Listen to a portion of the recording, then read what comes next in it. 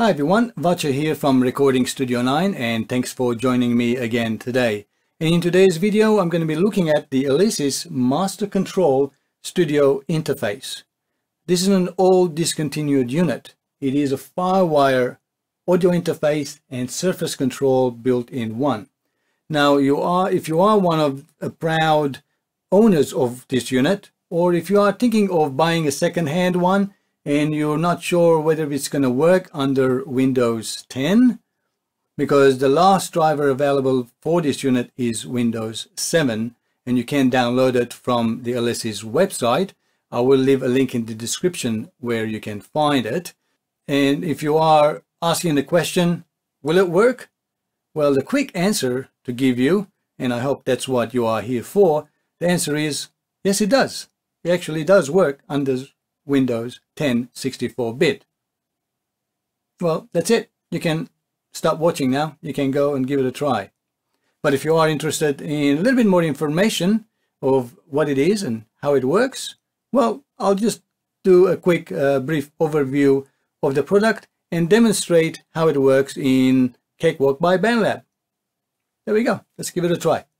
Well, the unit itself is a Firewire connection audio interface and surface control.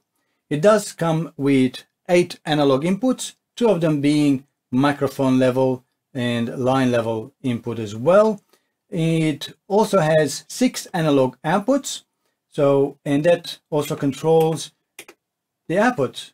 So you can have three different speakers, powered speakers connected to its output and using the A, B and C, you can switch between those outputs as well, which is quite handy. And it also comes with ADAT input, so you can extend this unit for another eight inputs. It doesn't have ADAT output, but it does have ADAT input. It also has SPDIF input and output, which is your eight input uh, and output as well, seven and eight. And it uh, also has MIDI input and output, the five pin DIN MIDI uh, at the back of the unit. Now, even though it only comes with two microphone level inputs, which also support 48 volt phantom power, but those two microphone inputs also have inserts. So that means you can actually connect an outboard compressor or EQ uh, and in line before the signal is uh, converted into digital. So that's a great option to have, which is not found in many of uh, this type of audio interfaces and surface controllers. One example uh, that comes close but not as good as this one is the uh, M Audio's Project Mix IO, which I do have a video about it and I'll leave a link in the description if that interests you. Um, you can watch that series as well. But this one has a lot more features. And some of the other extra features it has is that it's got two headphone outputs, which are independent, not only volume control, but you can also select what audio from your DAW uh, go to those headphones. Now, as a surface control, you can control everything in your DAW, but at the same time, pressing direct monitoring, now you are actually looking at the input of the audio interface. So now this is actually controlling the level of your inputs to direct monitoring onto your headphones. So you can adjust different levels from different microphones uh, when you are tracking or live recording, um, and you can adjust all of that. So now these are the eight analog inputs, and by switching the, the other bank, now we are looking at the levels of the ADAT inputs of the eight. So by switching to that one, these are my, let's do it this way, my analog inputs, and here are my ADAT inputs. So it's quite handy to be able to listen direct with zero latency on our headphones as you are tracking. Part of the surface control is also our rotary knobs. These are uh, infinity rotary knobs and you can assign anything you want to them. There's eight of them, of course, for each bank. And by using these three buttons at the top, you can assign whether they're uh, controlling your panning, they're controlling your send, or they're controlling your track levels or effects levels and so on to control things in your DAW. Of course, you can also select um, each channel um, for uh, record options, solo, mute, and so on. And as you saw, if in direct mode, we can solo and mute things for direct monitoring as well. And later on, we will see some of those options available as I run my uh, Cakewalk by BandLab and connect to it, and we'll see how it actually works. And lastly, we have a control section here with transport control, um, zoom and scrub, as well as a, a timeline option, and with the added option of talkback. So if you do have separate live room and you want to talk to the musicians, you can press the talkback from the control room and talk to them and they'll be able to hear. So without sacrificing any additional microphone input, it's got a built-in microphone with talkback functionality as well. Additional buttons, there's eight of them, and they double up by pressing the buttons A and B. So you have 16 function buttons that you can set and assign in your DAW to do whatever you want to do, like click track turning on and off, loops, markers, whatever you wish, you can control and set them up. Within itself already comes with lots of presets for different DAWs and Cakewalk is one of them. You can also control Pro Tools, Cubase, Logic and Samplitude and few others.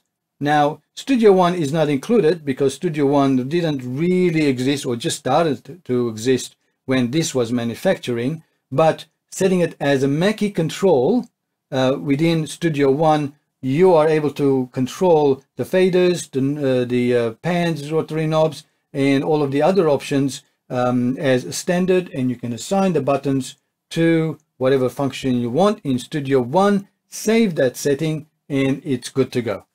Right, that's enough about the unit. Let me fire up uh, Cakewalk by BandLab, and we'll do a quick demonstration of how the project works and how the faders are controlled in your DAW. Okay, here we got the Cakewalk uh, open. Let's uh, open a project.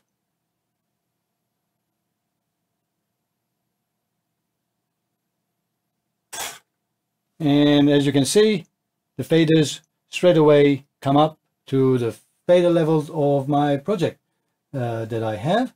And let's have a quick look. Let's say let's select the first one, which is my kick. And I should be able to adjust that there we go I can adjust them and of course I can adjust both both of them at the same time or uh, these two however uh, I want. And then let's select first one let's select the panning control of my snare bottom. And that's how we can control it. Let's select that track. Let's arm for recording. So you can see snare bottom is now arm for recording. We can also solo that one. You can see with the red uh, green button there and we can also mute that one. And easy as that. So we've got all of those control there. Uh, we also have at the top let's uh, see the timeline.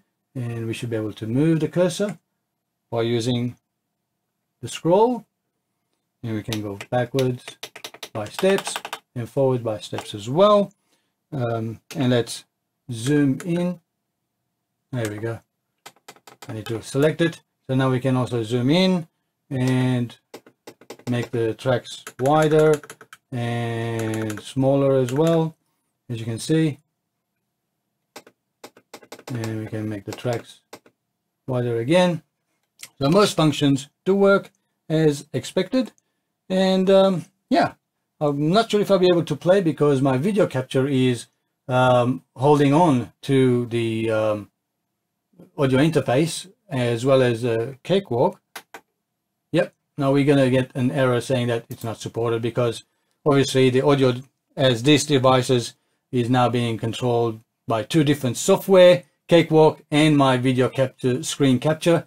So um, one of them is given up. But as you can see, it all works without any problem. Without my video capture screen, there is no problem controlling uh, the audio transport as well. And if you want to go to the next bank of uh, tracks, let's see um, my last solo there, I can control. And yep, there it goes. All works perfectly. So let's have a quick look of how it's actually set up going into preferences. Uh, as devices, audio devices, I've got my Alesis um, uh, master control selected and it has multiple inputs. Uh, the, um, the mic, line, as well as ADAT inputs and SPDIF are available. And for output, you got DO1, DO3, uh, and DO5, which are the three A, B, and C outputs that we can actually use. And the other thing that we want to be able to control is surface control. Under devices, we need to select master control, MIDI port, and control port. MIDI is the MIDI output at the back, and control port is the actual control surface. Once we have them enabled, then we can control surfaces, and you can see I've got one here already set up. And to add, it's quite easy. You can add new control surface, and here you need to select Mackie control for uh, uh, for the control surface, and then master control control port, not the MIDI port, as your input, and for your output as well. And then once you click OK, you'll get this line added. And once you click OK here, it's ready to go without much setting. Of course, as I mentioned, you can control and reprogram all of your uh, available buttons to control in your DAW as well. Well, I hope this video was informative enough for you. And if it was, make sure you give me the thumbs up. And if you have any further comments, uh, use the comment section you can ask me questions there. I'll be able to answer them for you. I do have it out. Uh, I connect it every now and then. So um, if you have questions in the comment section, more than happy to help you out there. Until then, as always, thanks for watching and have a great time making music. I'll catch you in the next one.